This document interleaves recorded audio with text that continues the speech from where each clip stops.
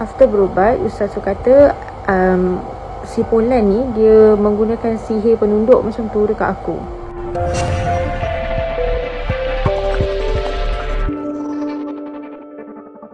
Sebuah video yang dikongsikan oleh seorang gadis mencuri perhatian ramai apabila dia mendakwa telah disihir oleh seorang pemuda. Menurut ceritanya, ada seorang pemuda yang meminatinya sehingga sanggup datang dari jauh semata-mata untuk menghantar makanan. Dia yang pada awalnya menyangka pemuda itu berniat baik bagaimanapun terkejut apabila juadah yang dihantar itu dipercayai telah disihir sehingga menyebabkan dia susah untuk melupakan pemuda tersebut. Menurut gadis itu lagi, keluarganya bertindak untuk mendapatkan rawatan daripada seorang ustaz dan diberitahu terkena sihir penunduk.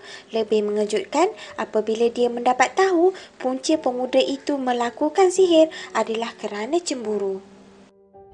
Hai sahabat korang, so aku tak sangka sebenarnya video tu naik FYP sebab akaun aku adalah akaun sendu dan memandangkan ada yang tanya macam mana cerita so aku akan cerita. But I'm gonna cut the story like really short. Okay, aku dengan dia start kenal tahun lepas. Dia yang start follow aku Dia yang start DM aku dulu dekat Insta.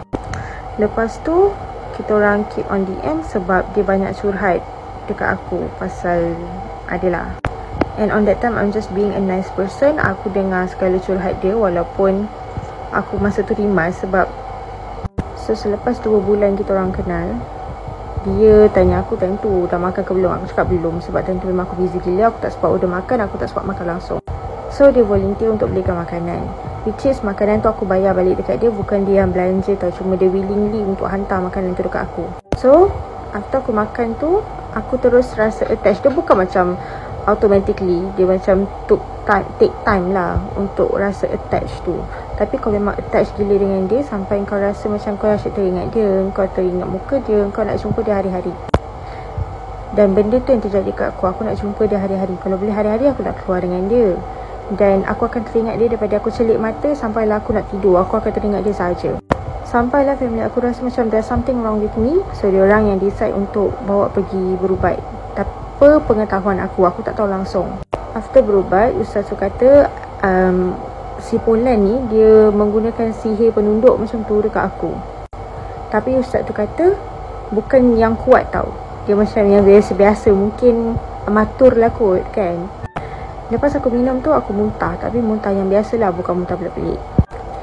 Lepas tu barulah family aku explain aku apa benda yang terjadi aku tak percaya dan aku tak puas hati so aku jumpa kawan aku. Kawan aku tu bapak dia pun mengubat jugalah So aku minta tolong dia untuk tengokkan. Dan jawapannya adalah sama. Budak lelaki ni dia gunakan aku. Dia sihirkan aku Sebab dia tak puas hati. Aku ni ramai kawan lelaki. Tapi kawan lelaki aku bukanlah sampai aku keluar dengan diorang tau. Aku just kawan. Kawan yang dekat DM ke dekat WhatsApp ke macam tu je. So basically dia buat sebab dia nak kenakan aku balik. Dia tak puas hati dengan aku pasal benda tu. I don't know why but that's the reason lah apa yang pak cik kedua ni bagi tahu. Ustaz tu tak bagi tahu tapi pak cik yang kedua yang aku jumpa ni dia bagi tahu benda tu. Lepas tu aku minta lagi sekali air dengan ustaz tu dan selepas aku minum aku tak muntah yang kali ni eh. Aku mimpi aku buang air tapi air tu bau ya Allah busuk gila sumpah. Dan selepas tu aku bangun dalam keadaan aku rasa macam segar gila dan aku berjaya lupakan lelaki tu sampai aku block dia dekat semua tempat.